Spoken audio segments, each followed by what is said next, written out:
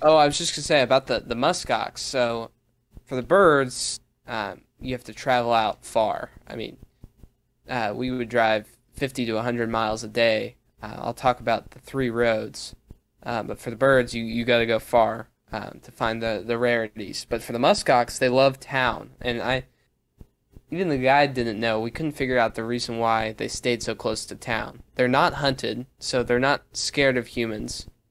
Um, but I, you know, they don't eat any human foods, so that they just feed on the willows.